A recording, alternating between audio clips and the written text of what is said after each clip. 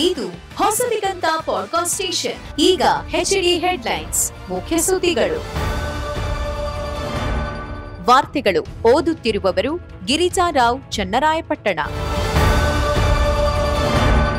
ಸರ್ಕಾರಿ ನೌಕರರು ರಾಷ್ಟ್ರೀಯ ಸ್ವಯಂ ಸೇವಕ ಸಂಘದ ಅಂದರೆ ಆರ್ಎಸ್ಎಸ್ನ ಚಟುವಟಿಕೆಗಳಲ್ಲಿ ಭಾಗವಹಿಸುವಂತಿಲ್ಲ ಎಂದು ಇದ್ದ ನಿಷೇಧವನ್ನು ಕೇಂದ್ರ ಸರ್ಕಾರ ಇಂದು ತೆರವುಗೊಳಿಸಿದೆ. ಈ ಮಹತ್ವದ ನಿರ್ಧಾರವನ್ನು ಸ್ವಾಗತಿಸಿರುವ ಆರ್ಎಸ್ಎಸ್ ಇದು ದೇಶದ ಪ್ರಜಾತಾಂತ್ರಿಕ ವ್ಯವಸ್ಥೆಯನ್ನು ಬಲಪಡಿಸುತ್ತದೆ ಎಂದು ಹೇಳಿದೆ. ರಾಷ್ಟ್ರೀಯ ಸ್ವಯಂ ಸೇವಕ ಸಂಘ ಕಳೆದ ತೊಂಬತ್ತೊಂಬತ್ತು ವರ್ಷಗಳಿಂದ ದೇಶದ ಪುನರ್ ನಿರ್ಮಾಣ ಮತ್ತು ಸೇವೆಯಲ್ಲಿ ತೊಡಗಿಸಿಕೊಂಡಿದೆ ಎಂದು ಸಂಘದ ವಕ್ತಾರ ಸುನಿಲ್ ಅಂಬೇಕರ್ ತಮ್ಮ ಪ್ರಕಟಣೆಯಲ್ಲಿ ತಿಳಿಸಿದ್ದಾರೆ.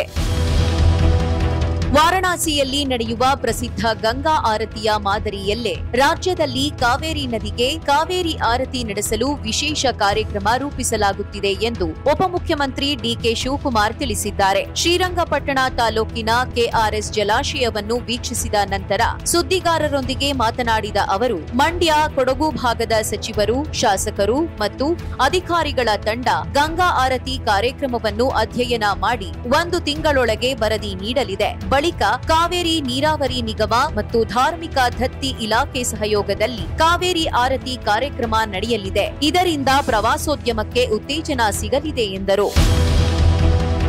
ಮಹರ್ಷಿ ವಾಲ್ಮೀಕಿ ಅಭಿವೃದ್ಧಿ ನಿಗಮದ ಬ್ಯಾಂಕ್ ಖಾತೆಯಿಂದ ರೂಪಾಯಿ ತೊಂಬತ್ತೈದು ಕೋಟಿಯನ್ನು ಅಕ್ರಮವಾಗಿ ವರ್ಗಾಯಿಸಿದ ಆರೋಪ ಹೊತ್ತು ಇಡಿ ಕಸ್ಟಡಿಯಲ್ಲಿದ್ದ ಮಾಜಿ ಸಚಿವ ಬಿ ನಾಗೇಂದ್ರ ಅವರನ್ನು ಜನಪ್ರತಿನಿಧಿಗಳ ವಿಶೇಷ ನ್ಯಾಯಾಲಯ ಇಂದು ಹದಿನಾಲ್ಕು ದಿನಗಳ ನ್ಯಾಯಾಂಗ ಬಂಧನಕ್ಕೆ ಒಪ್ಪಿಸಿದೆ. ನಾಗೇಂದ್ರ ಅವರನ್ನು ಇಂದು ಮುಂಜಾನೆ ನ್ಯಾಯಾಧೀಶ ಸಂತೋಷ್ ಗಜಾನನ ಭಟ್ ಅವರ ಮುಂದೆ ಹಾಜರುಪಡಿಸಲಾಯಿತು. ಪ್ರಕರಣದ ಇನ್ನೊಬ್ಬ ಆರೋಪಿ ನ್ಯಾಯಾಂಗ ಬಂಧನದಲ್ಲಿರುವ ಹೈದರಾಬಾದ್ನ ಸತ್ಯನಾರಾಯಣ ವರ್ಮಾ ಅವರನ್ನು ನಾಳೆ ಕೋರ್ಟ್ಗೆ ಹಾಜರುಪಡಿಸುವಂತೆ ನ್ಯಾಯಾಧೀಶರು ಆದೇಶಿಸಿದರು.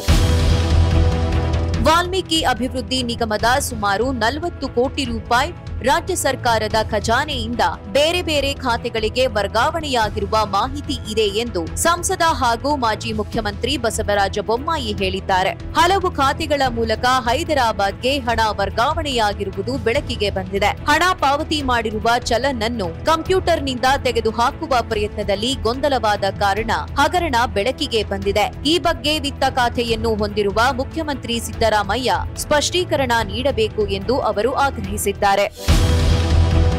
ಉತ್ತರ ಪ್ರದೇಶದ ಕನ್ವರ್ ಯಾತ್ರೆ ಮಾರ್ಗದಲ್ಲಿನ ತಿಂಡಿ ತಿನಿಸುಗಳ ಮಳಿಗೆಗಳ ಮಾಲೀಕರು ಮಳಿಗೆಗಳ ಮುಂದೆ ತಮ್ಮ ಹೆಸರನ್ನು ಉಲ್ಲೇಖಿಸಬೇಕು ಎಂಬ ಅಲ್ಲಿನ ಸರ್ಕಾರದ ಆದೇಶಕ್ಕೆ ಸುಪ್ರೀಂ ಕೋರ್ಟ್ ಇಂದು ತಡೆ ನೀಡಿದೆ. ಅರ್ಜಿಯ ವಿಚಾರಣೆ ನಡೆಸಿದ ನ್ಯಾಯಮೂರ್ತಿ ಹೃಷಿಕೇಶ್ ರಾಯ್ ನೇತೃತ್ವದ ಪೀಠ ರಾಜ್ಯ ಸರ್ಕಾರದ ಆದೇಶ ಸಾಂವಿಧಾನಿಕವಲ್ಲ ಮತ್ತು ಕಾನೂನು ಮಾನದಂಡಗಳಿಗೆ ವಿರುದ್ಧವಾಗಿದೆ ಎಂದು ಅಭಿಪ್ರಾಯಪಟ್ಟಿತು. ಸಿಎಂ ಯೋಗಿ ಆದಿತ್ಯನಾಥ್ ನೇತೃತ್ವದ ಸರ್ಕಾರ ಮೊದಲು ಮುಜಾಫರ್ ನಗರದಲ್ಲಿ ಮಾತ್ರ ಆದೇಶ ಜಾರಿಗೊಳಿಸಿತ್ತು. ಬಳಿಕ ಆದೇಶವನ್ನು ಇಡೀ ರಾಜ್ಯಕ್ಕೆ ವಿಸ್ತರಿಸಿತ್ತು.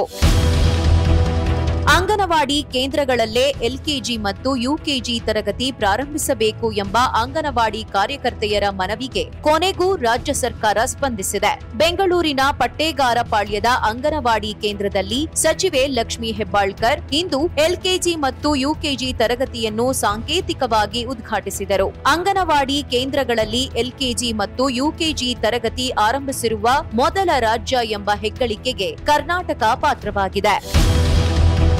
ಅಮೆರಿಕ ಅಧ್ಯಕ್ಷೀಯ ಚುನಾವಣಾ ಕಣದಿಂದ ಹಿಂದೆ ಸರಿದಿರುವ ಹಾಲಿ ಅಧ್ಯಕ್ಷ ಜೋ ಬೈಡನ್ ಅವರು, ಹಾಲಿ ಉಪಾಧ್ಯಕ್ಷೆ ಭಾರತ ಮೂಲದ ಕಮಲಾ ಹ್ಯಾರಿಸ್ ಅವರನ್ನು ಅಧ್ಯಕ್ಷ ಸ್ಥಾನಕ್ಕೆ ರಿಪಬ್ಲಿಕನ್ ಪಾರ್ಟಿಯ ಅಭ್ಯರ್ಥಿಯಾಗಿ ಘೋಷಿಸಿದ್ದಾರೆ. ತಮ್ಮ ನಿರ್ಧಾರದ ಬಗ್ಗೆ ಹೆಚ್ಚಿನ ವಿವರಗಳನ್ನು ಮುಂದಿನ ದಿನಗಳಲ್ಲಿ ಹಂಚಿಕೊಳ್ಳುವುದಾಗಿ ಬೈಡನ್ ಹೇಳಿದ್ದಾರೆ. ಇದೇ ವೇಳೆ ಕಮಲಾ ಹ್ಯಾರಿಸ್ ಅವರ ಹೆಸರು ಘೋಷಿಸಿರುವುದಕ್ಕೆ ಭಾರತ ಮೂಲದ ಅಮೆರಿಕನ್ ಶಾಸಕಿ ಪ್ರಮೀಳಾ ಜಯಪಾಲ್ ಸಂತಸ ವ್ಯಕ್ತಪಡಿಸಿದ್ದಾರೆ. ಬೈಡನ್ ಅವರ ನಿರ್ಧಾರವನ್ನು ಮಾಜಿ ಅಧ್ಯಕ್ಷ ಬರಾಕ್ ಒಬಾಮಾ ಅವರು ಸ್ವಾಗತಿಸಿದ್ದಾರೆ. ಗಮನಾರ್ಹ ಸಂಗತಿ ಎಂದರೆ ಬೈಡನ್ ಅಧ್ಯಕ್ಷೀಯ ಕಣದಿಂದ ಹಿಂದೆ ಸರಿದ ಬೆನ್ನಲ್ಲೇ ಡೆಮಾಕ್ರೆಟಿಕ್ ಪಕ್ಷಕ್ಕೆ ಒಂದೇ ದಿನದಲ್ಲಿ ಐವತ್ತು ಮಿಲಿಯನ್ ಡಾಲರ್, ಅಂದರೆ ಸುಮಾರು ನಾನೂರ ಹದಿನೆಂಟು ಕೋಟಿ ರೂಪಾಯಿ ದೇಣಿಗೆ ಹರಿದು ಬಂದಿದೆ. ಕಲ್ಕಿ ಎರಡು ಎಂಟು ಒಂಬತ್ತು ಎಂಟು ಎಡಿ ಸಿನಿಮಾ ಧಾರ್ಮಿಕ ಭಾವನೆಗಳಿಗೆ ಧಕ್ಕೆ ಉಂಟು ಮಾಡಿದೆ ಎಂದು ಸಿನಿಮಾದ ನಿರ್ಮಾಪಕ ಮತ್ತು ನಟರಿಗೆ ನೋಟಿಸ್ ನೀಡಿರುವುದಾಗಿ ಕಲ್ಕಿ ಧಾಮ ಪೀಠಾಧೀಶ್ವರ ಆಚಾರ್ಯ ಪ್ರಮೋದ್ ಕೃಷ್ಣಂ ತಿಳಿಸಿದ್ದಾರೆ. ಹಿಂದೂ ಪವಿತ್ರ ಗ್ರಂಥಗಳನ್ನು ವಿರೂಪಗೊಳಿಸುವ ಹಕ್ಕು ಯಾರಿಗೂ ಇಲ್ಲ. ಆದರೆ ಅದೀಗ ಒಂದು ಫ್ಯಾಷನ್ ಆಗಿದೆ. ಕಲ್ಕಿ ಅವತಾರ ವಿಷ್ಣುವಿನ ಕೊನೆಯ ಅವತಾರವಾಗಿದ್ದು, ಜನರಿಗೆ ಚಿತ್ರದಿಂದ ತಪ್ಪು ಸಂದೇಶ ಹೋಗಿದೆ ಎಂದು ಅವರು ಆರೋಪಿಸಿದ್ದಾರೆ. you ಭಾರತ ಕ್ರಿಕೆಟ್ ತಂಡದ ನೂತನ ಕೋಚ್ ಗೌತಮ್ ಗಂಭೀರ್ ತಮ್ಮ ಮತ್ತು ವಿರಾಟ್ ಕೊಹ್ಲಿ ನಡುವಿನ ಸಂಬಂಧದ ಬಗ್ಗೆ ಇದೇ ಮೊದಲ ಬಾರಿಗೆ ಸ್ಪಷ್ಟನೆ ಕೊಟ್ಟಿದ್ದಾರೆ. ತಮ್ಮಿಬ್ಬರ ಸಂಬಂಧ ವೈಯಕ್ತಿಕ ಎಂದ ಅವರು, ಅದು ಟಿಆರ್ಪಿಗೆ ಸಂಬಂಧಿಸಿಲ್ಲ. ಪ್ರತಿಯೊಬ್ಬರಿಗೂ ತಮ್ಮ ಜರ್ಸಿಗಾಗಿ ಹೋರಾಡುವ ಮತ್ತು ಗೆಲುವಿನೊಂದಿಗೆ ಡ್ರೆಸ್ಸಿಂಗ್ ರೂಮ್ಗೆ ಮರಳುವ ಹಕ್ಕು ಇದೆ ಎಂದರು. ಇದೇ ವೇಳೆ ಅವರು ವಿರಾಟ್ ಕೊಹ್ಲಿ ಹಾಗೂ ರೋಹಿತ್ ಶರ್ಮಾ ಹೆಚ್ಚಿನ ಪಂದ್ಯಗಳಿಗೆ ಲಭ್ಯವಿರುತ್ತಾರೆ ಎಂದು ಭಾವಿಸುತ್ತೇನೆ. ನೂರ ನಲವತ್ತು ಕೋಟಿ ಭಾರತೀಯರನ್ನು ಪ್ರತಿನಿಧಿಸುವುದು ಹೆಮ್ಮೆಯ ಕೆಲಸ ಎಂದು ಹೇಳಿದರು.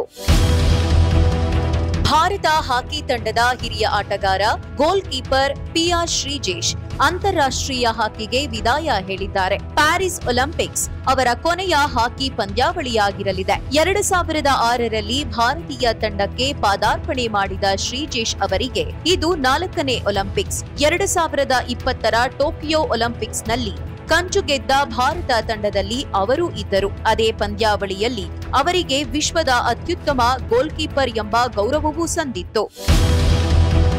ಇಲ್ಲಿಗೆ ಸಂಜೆ ಏಳು ಗಂಟೆವರೆಗಿನ ವಾರ್ತಾ ಪ್ರಸಾರ ಮುಕ್ತಾಯವಾಯಿತು. ನಮಸ್ಕಾರ.